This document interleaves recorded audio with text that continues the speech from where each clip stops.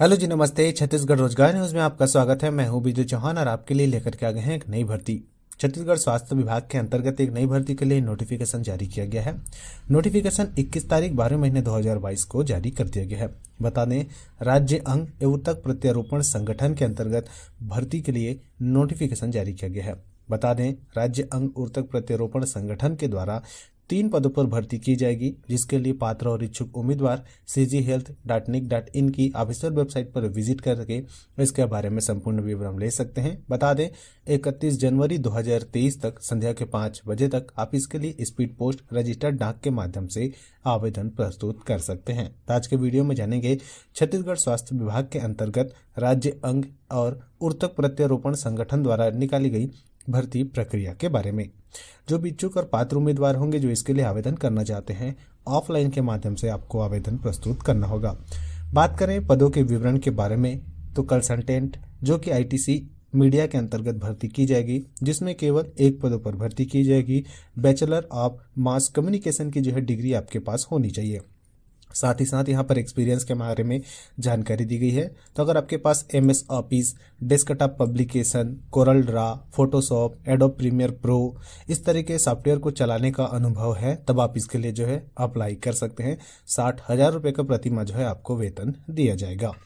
दूसरे नंबर की पोस्ट निकाली गई है कंसल्टेंट कम ट्रांसलेटर कोऑर्डिनेटर की, जिसमें केवल एक पदों पर भर्ती की जाएगी। जो भी ट्रांसप्लांट कोऑर्डिनेटर होंगे, उनके पास यहाँ पर मास्टर डिग्री होनी चाहिए पब्लिक हेल्थ के अंतर्गत, या फिर हेल्थ मैनेजमेंट की डिग्री होनी चाहिए। साथ ही साथ यहाँ पर एक वर्ष का ये अनुभव मांगा गया है ऑर्गन ट्रांसप्लांट रिलेटेड वर्क के लिए। पैंतीस हज़ार रुपये का जो है आपको मासिक वेतन यहाँ पर दिया जाएगा। तीसरे नंबर की पोस्ट है programmer assistant cum data entry operator की, जिसमें एक पदों पर भर्ती की जाएगी। बीसीए की डिग्री होनी चाहिए, साठ परसेंट अंकों के साथ तब आप इसके लिए जो है अप्लाई कर सकते हैं। बैचलर ऑफ़ कंप्यूटर एप्लीकेशन अर्थात बीसीए की डिग्री होनी चाहिए।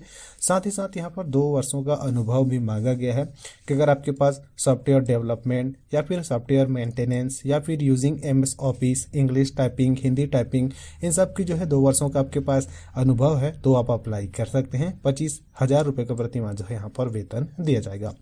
तो तीन अलग अलग तरह के पदों की भर्ती के लिए नोटिफिकेशन जारी किया गया है। सभी में यहाँ पर जो भी एक्सपीरियंस है, अनुभव मांगा गया है। तो अगर आपके पास कंप्यूटर की डिग्री है, साथ ही साथ यहाँ पर एक बताया गया है ऑर्गन ट्रांसप्लांट रिलेटेड जो कि मेडिकल वर्क के अंतर्गत आते हैं। ये आपके पास अनुभव है, तब आप अप्लाई कर सकते साथ ही साथ इन बाकी सभी के लिए कंप्यूटर में अनुभव मांगा गया है।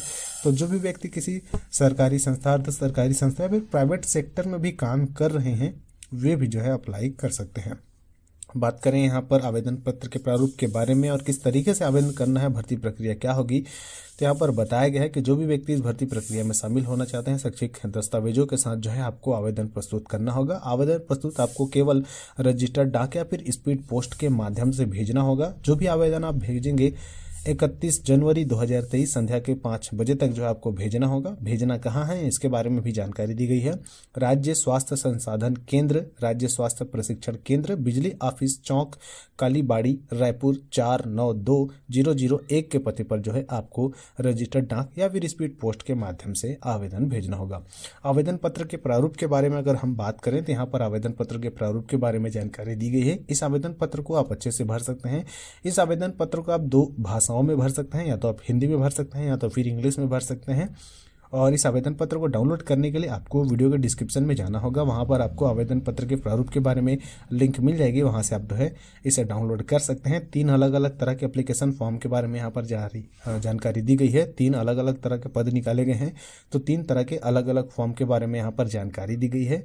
इस फॉर्म को आप डाउनलोड कर सकते हैं और इसे भर करके इकतीस जनवरी 2023 संध्या के पाँच बजे तक आप स्पीड पोस्ट या फिर रजिस्टर्ड डाक के माध्यम से आवेदन प्रस्तुत कर सकते हैं। तो ये थी जानकारी छत्तीसगढ़ स्वास्थ्य विभाग द्वारा निकाली गई भर्ती प्रक्रिया के बारे में। जो भी भर्ती होगी, राज्य अंग प्रत्यारोपण उर्तक प्रत्यारोपण संगठन द्वारा यहाँ पर की जाएगी। इसकी विस्तृत जानकारी के लिए यहाँ पर एक फ़ोन नंबर भी दिया गया है।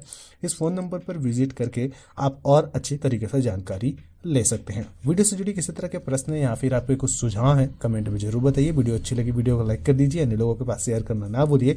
और ऐसी ही रोज़गार परक जानकारी के लिए छत्तीसगढ़ रोज़गार न्यूज़ को सब्सक्राइब ज़रूर करिए।